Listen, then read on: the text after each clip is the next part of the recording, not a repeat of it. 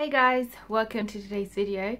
So today I'm going to be talking about my experience as a first year medical student. A few of you guys have requested that I talk about um, how first year was, um, my course structure and all that good stuff, so I'll cover that in this video today. So I went to medical school after a gap year. Within my gap year I did some travelling, I did some working and I did a lot of bumming around at home but I didn't do any sort of preparation in that year before I went to medical school. I didn't do any revision or anything like that, which uh, I probably should have given how tough the first term of first year was. So in first year, I learned mostly preclinical stuff. Um, even though we uh, we had patient contact and things from the first week of medical school, most of what we were learning was um, sort of science. So physiology, pharmacology, uh, we were learning chemistry, physics, lots of other things that I didn't anticipate to be learning in medical school, like law and psychology and sociology and maths, statistics, and you know government policy and all this stuff that I didn't think I'd be learning in medical school. I just imagined we'd be learning human biology and that's it. But obviously, uh, there's more to being a doctor than just human biology. So yeah, first year was a mix of lots and lots of stuff, uh, but mostly science. So my course structure was PBL based. So uh, PBL means problem based learning, which means that um, at the start of every week we'd be given a case scenario and we'd have to brainstorm that scenario and come up with learning objectives in order to be able to answer the questions within that scenario. So as well as PBL we had lectures and we had seminars and we had tutorials and we had loads and loads of other different things but the main sort of structure was PBL. So an example of a, um, a case we would have would be something like Mary is a 57 year old lady um, she's come to you today uh, because she's feeling tired all the time. She has three children under four and she has a husband who works as a cleaner and she works as a secretary. She takes Ramipril for high blood pressure and she takes multivitamins. Um, she's so tired she can't go to work anymore. She can't look after her children and she's feeling quite depressed um, and that will be the scenario for example and so within our group so groups would be made out of um, sort of eight nine or ten students. Within that group would brainstorm the case scenario and would come up with learning objectives. So things that we'd need to know as doctors in able in order to be able to manage patients like Mary. So we'd want to know you know the differential diagnosis of being tired all the time. Uh, what about the medication that she's taking this Ramipril what what class of medication is it? Uh, what side effects does it have? What is its mechanism of action? What other medication types are there in that group? Could they be causing Mary's tired all the time? Mary's also going to work, but she can't um, she can't go to work anymore because of her tiredness. So what kind of sort of social structures are there to help people like Mary? Is she able to access benefits? Is she able to access sort of psychological help? Uh, what about her husband? How does he feel about all of this? Um, would he be able to manage the children as a cleaner? Uh, what about the physiology of tiredness? How come women get more tired than men sort of thing? Um, what else do you want to know? The sociology of all of this, the psychology of how Mary's feeling, how uh, husband is feeling. Uh, want to know things like iron deficiency. How come people don't feel tired all the time? How come she's feeling tired all the time? Want to know uh, lots of different things. You know, we'd have to look at the physiology, the pharmacology, the laws, um, even the government structures of everything to do with that scenario. And we'd each be assigned a learning objective and we'd have to cover that learning objective within the week at the, at the start of next week we'll then um, feedback what we've uh, found out about each of our learning objectives and the idea is that um, after we've um, spoken about it everybody is on the same level and everybody knows everything that there is to know about being tired all the time. So PBL um, was really difficult for me. I found it really, really, really difficult at the start because I'm naturally very quiet and very reserved. But PBL required you to speak up and argue your point and all that stuff, which, you know, I wasn't used to at all in first year. I hadn't done any of that uh, during my A-levels or anything. So I found it really, really tough. And the feedback I used to get from teachers was that uh, you're so quiet and really quiet, you need to speak up and all that stuff. But I obviously um, learned to speak my point and to get my point across um, as the years went past. But honestly, the first the first term especially was just really hard because I never said anything. Another thing that um, I found really difficult during my first term was that um, many of the students in my year were postgraduate students. I hadn't anticipated that I'd come to university and there be other students who'd already had um, other degrees, who'd already been to university.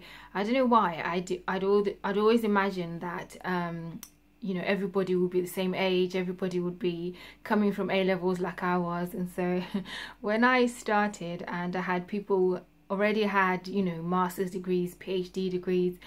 I was so intimidated by all of these people, I, I just couldn't cope. As you know, medical school is very competitive. It's competitive to get into, it's competitive to survive because you're compared to your peers at every point. You know, everybody is ranked against each other, and so you don't want to be at the bottom.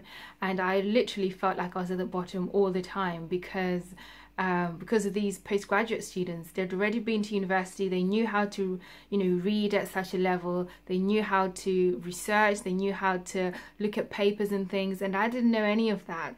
I was just, um, you know, a 19 year old who just come from A levels doing her biology and chemistry and stuff, and I hadn't looked at any anything to do with uh, learning at a high level, a level higher than A levels, and yeah, it was tough in the first term to get my head around that.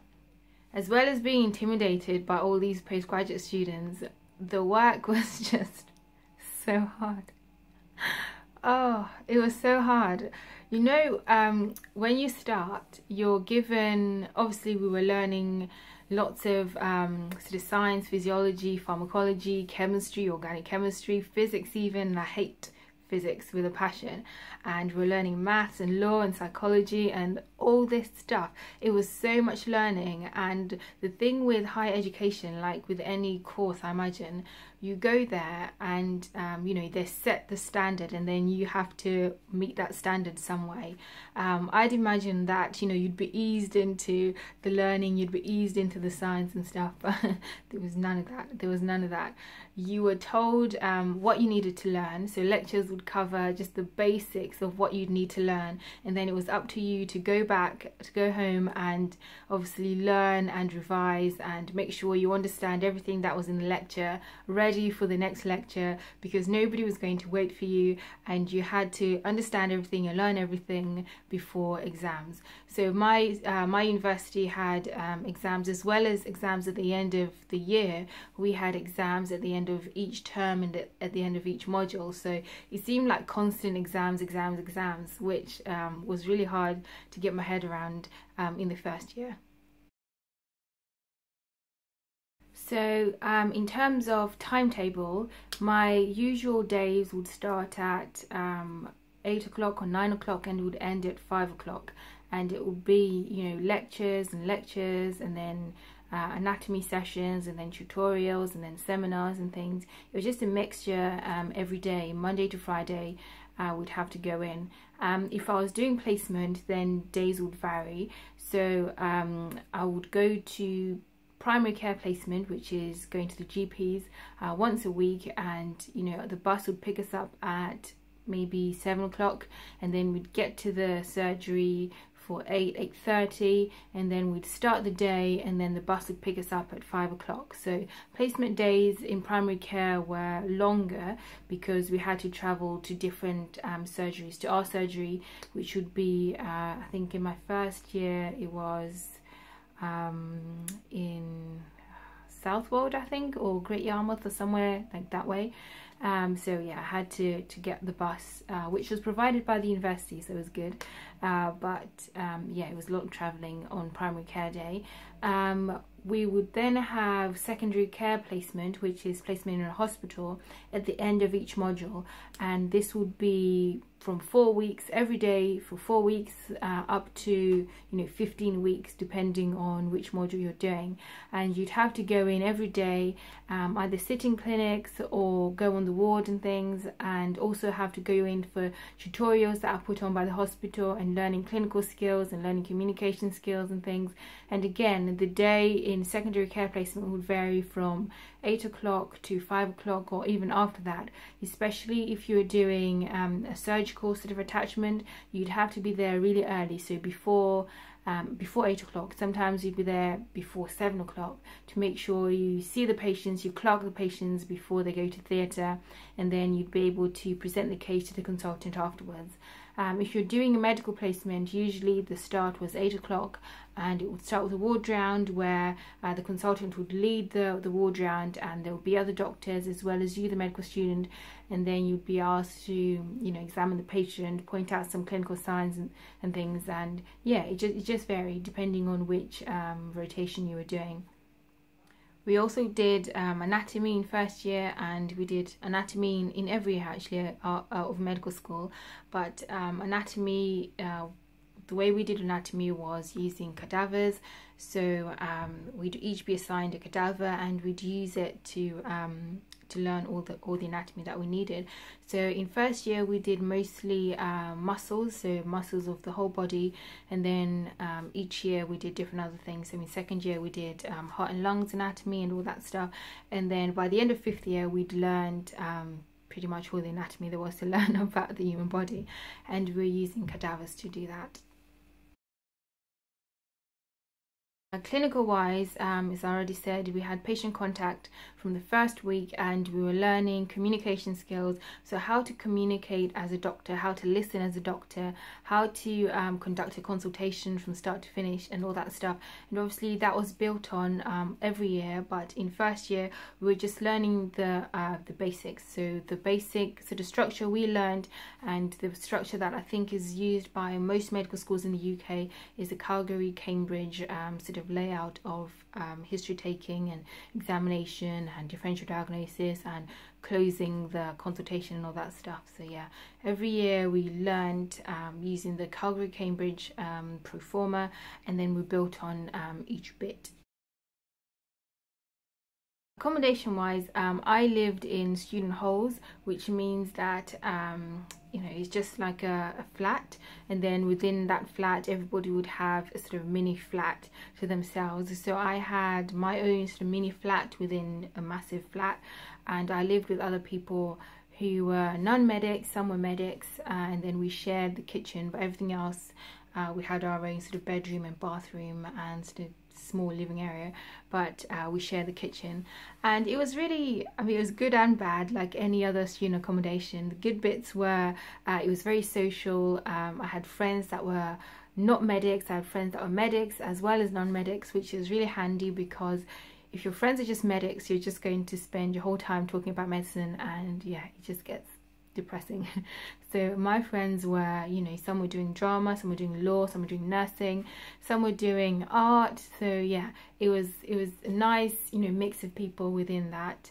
Uh, another good thing was that um, you know it was such a good sort of social environment and everybody became really good friends. I'm still friends with all those people today um, a good five six years later. So um, it's a good thing to, to live in student halls. I'd recommend it if you are applying um, I mean, if you're living outside of student halls and living by yourself, I think it's more difficult for you to keep in touch with um, what's going on in medical school. So I know a few of my friends who were living outside of student halls found it really difficult to um, sort of keep up with social events that were going on, and so they'd miss out miss out on a lot of things and it'd be sort of it's tougher to make friends if you're if you're an outsider right so if you're living away from others whereas if you're in um, student halls then you cook together you eat together and stuff and you you form friendships that way. The bad bits of living in student accommodation is uh,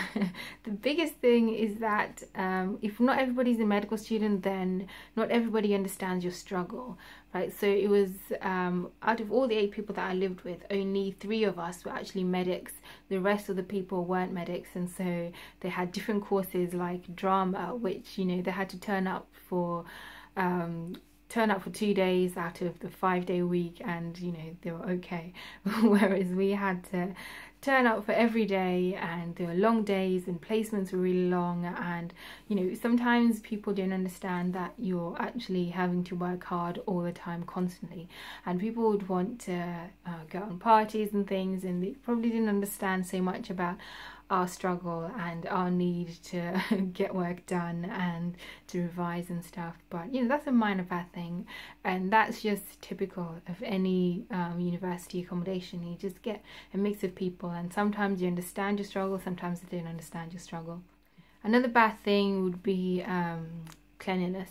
So obviously students are notorious for being so dirty and if you're somebody like me who is probably OCD type clean.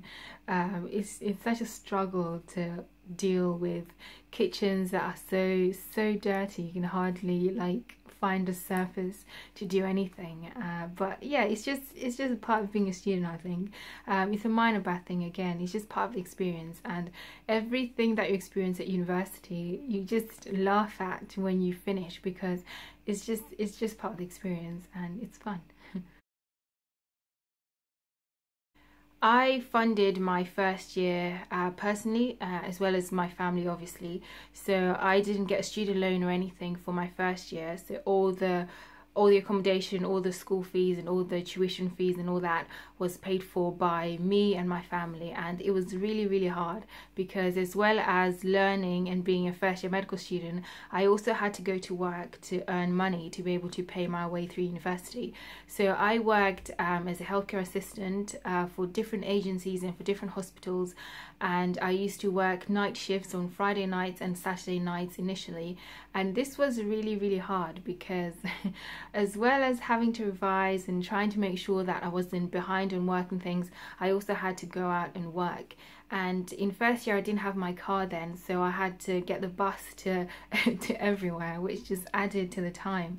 And honestly, it was it was really hard at the time. Um, it seemed like you know I was just doing it. It didn't seem that hard, but looking back, it was actually quite tough because there was just no time to do anything else besides go to university, sleep, go to work, go to university, sleep, and go to work, and that sort of thing. So, yeah, my first term was was really was really hard. After the first term had finished, everything just got so much better.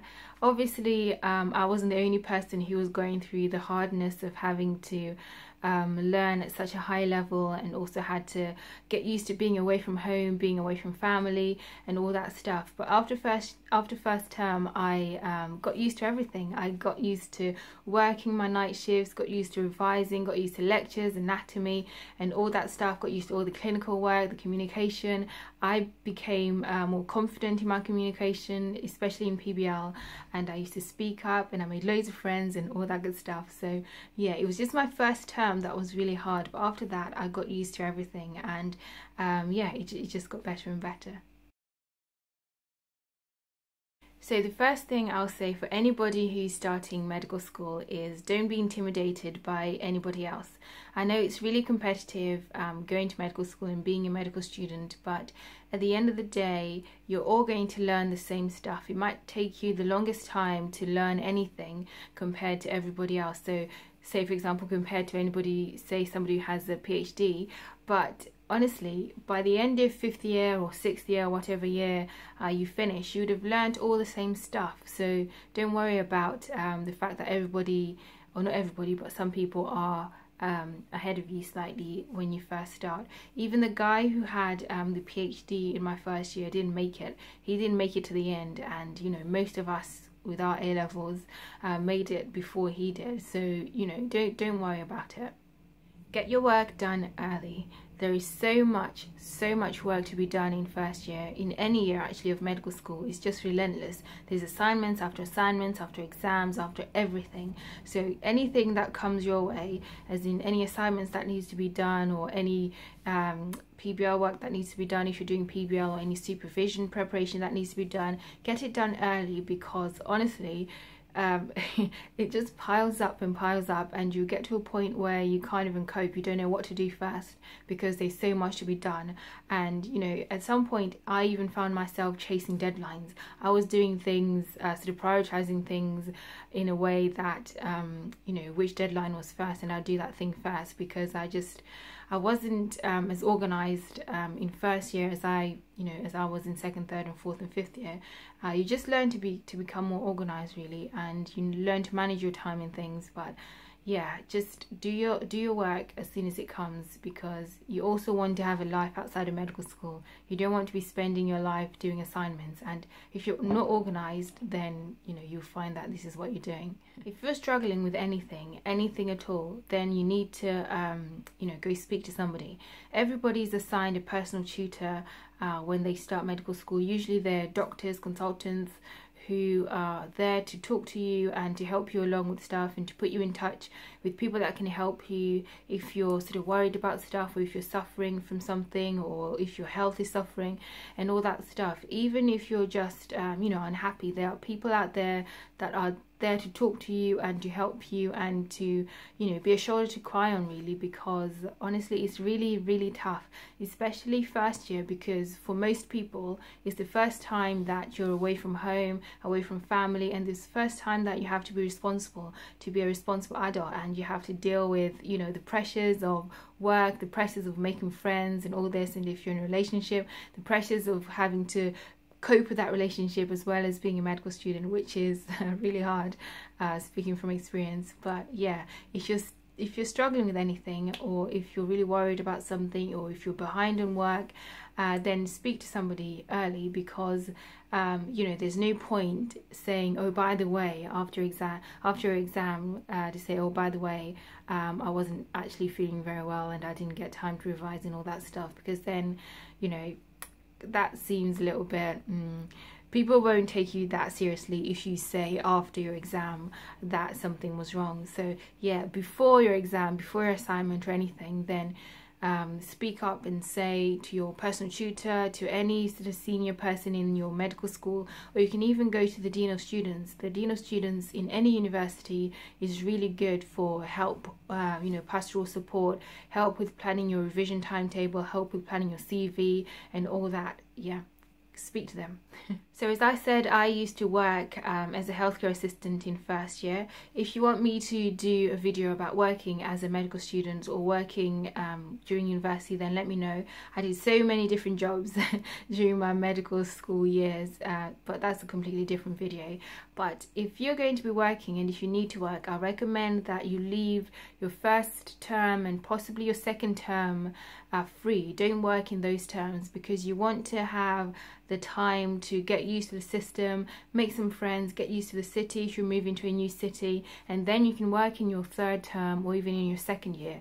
I worked for my first term and it was really difficult to um, juggle working for money and working to try and get my degree. So I don't um, I don't recommend that you work in your first term. If you absolutely have to, then you know work very very very minimally and try and avoid doing night shifts like I did because they just make you tired. Even though you get more money working at night and um, all that stuff, I don't I don't recommend it in first year go to other freshers events that your medical school puts on.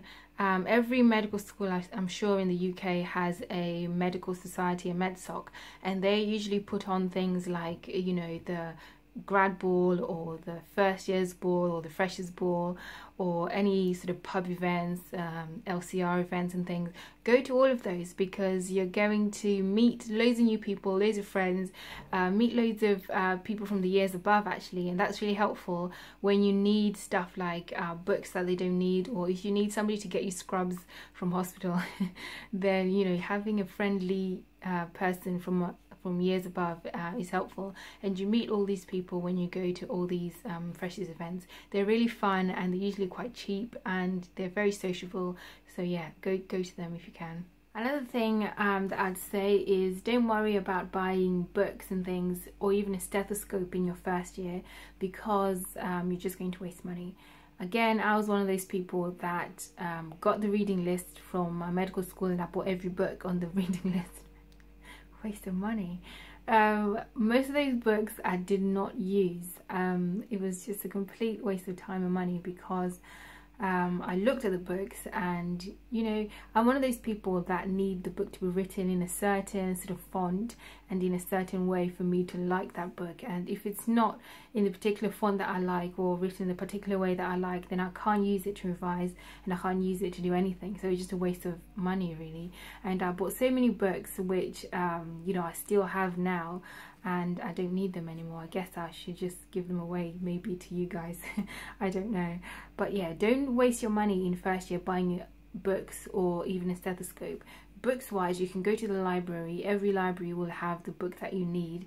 And even if your particular library doesn't have that book, you can join the British Library, which, um, you know, is in London, and they will send you the book that you need if your uh, university library doesn't have it. So yeah, don't waste money buying books get the library uh, sorry get the book from the library use it for a bit and then you know if you really like the book and the way it's written and the font if you're like me then you can then go and buy it. Um, and you can buy it from uh, people from the years above actually. There's so many people that um, don't need books um, in the year above. Uh, they've used them in first year second year and stuff and so they can sell them to you cheaper than going to buy them new. So yeah don't don't buy books until you know that you really like that book and you you're going to use it.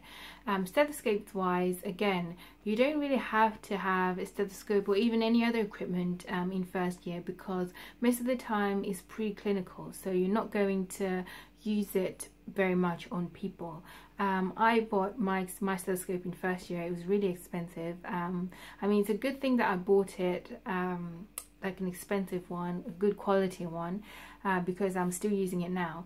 Um, so yeah, if you're going to invest in a, in a stethoscope, then invest in a good one. Don't just buy any one just for the sake of it, because there's so many sort of cheap stethoscopes out there, and you, you can't you can't hear heart sounds with them. So buy buy a good good good quality stethoscope. Mine uh, I bought is a Cardiology three. I can link the um, link um description bar bought it from Littmann and I got engraved for free and um, all that good stuff.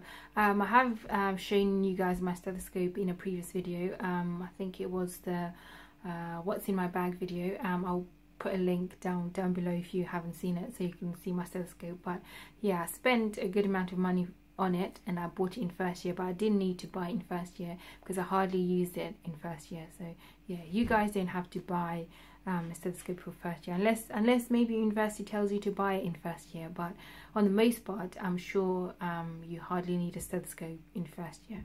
So with the competition of being in medical school and of being a medical student, everybody is so fixated on getting their CV, you know, looking all flowery and nice um, in their first year, which, you know, I was one of those people, but I'm telling you now that you don't have to be one of those people. There's so much time to do stuff for your CV after your first year.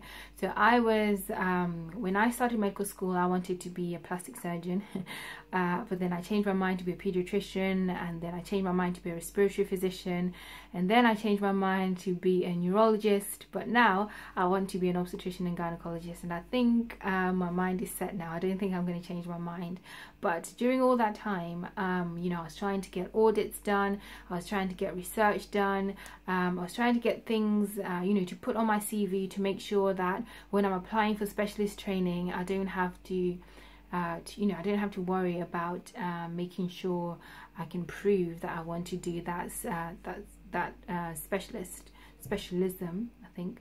Um, so yeah, I was so fixated on that, and the fact that you know everybody else had master's degrees and BScs and PhDs, and here I was with my A levels. so I wanted um, really to make sure I was um, at the same level as these other guys. So I spent so much time trying to do audits and write papers and things, which, you know, looking back, there was no need to do any of that in first year because I had so much time in second year, third year, fourth year, fifth year, and I also did um, an intercalated degree between year four and five. So, you know, I had so much time to get all of that done, I didn't need to worry about it. So I'm telling you now that if you're in first year, don't worry about getting your CV looking all flowery. You have so much time to do it in. Don't worry about getting audits, about getting papers, about doing research outside of school. you know there's so much to be done anyway in first year in any year of medical school but first year is particularly tough because you you need to you know get your head around being a medical student it's completely different to doing your A levels and things and even if you've done another degree it's completely different to doing any other degree even a science degree you know it's completely different so don't worry about um, your CV in first year start worrying about it in second year third year you have so much time um, yeah, just get your head around first year, get the work done, make sure you understand the process, and um, worry about your CV, you know, other years. Be careful about your non-medic friends. Um, those people that are doing drama and art and English and things, you have to turn up for two days a week and then, you know, that's it, they, they pass first year uh, yeah, don't don't don't be um, fooled by those people because your course is different. You have to turn up every day and you have to pass first year in order to continue to second year. So some courses just need you to, you know, turn up for a certain amount of days a week and then they don't count. Whatever you learn and whatever exams you do in first year don't count. I remember I think one of my friends was doing art and all he had to do was turn up uh, maybe once a week, twice a week, and then that's it. Any exams he did in first year didn't count. He was just automatically, um, you know, put into second year, which um, medicine is not like that, guys. you have to pass every exam you do, and you have to pass the whole year in order to progress to second year. I had people that were in my year who didn't pass first year, who had to resit second year, and then, you know, some were lucky and passed that resit, but some weren't so lucky and they had to resit the whole year. Now imagine your whole friends, all your friends are going, um, all your friends are going to second year, and you're going, uh, you know, you're staying in first year, you're redoing first year, and there's nothing, in my opinion, there's nothing worse than, you know, staying behind because you didn't take it seriously. So take it seriously. It counts. Everything counts in first year, and um, different universities have different policies but in my university um, I trained in Norwich. In my university you had um, only two goes to pass your exam. So if you fail it the first time and then you fail it at the reset then you're not allowed to come back to that year. You have to either reset the year or a decision will be taken to say you know you're not good enough for medicine basically. So it's, it's literally that cutthroat. Um, so take it seriously pass all your exams and make it to the end. Last but not least enjoy it You've made it to medical school, you've aspired to be a medical student for the longest time, and now you're here. So have fun. Honestly, it's tough, it's stressful, and it's depressing sometimes, but it's also fun uh, most of the time. So have lots of fun. There's lots of fun to be had, and this could possibly be the best year of your life so far. So, yeah, have lots and lots of fun. That's about it, guys. Thanks very much for watching hopefully you've enjoyed my experiences video and um, the tips that I've given will come in handy at some point. If there's anything you want me to do next then obviously comment in the comment section down below.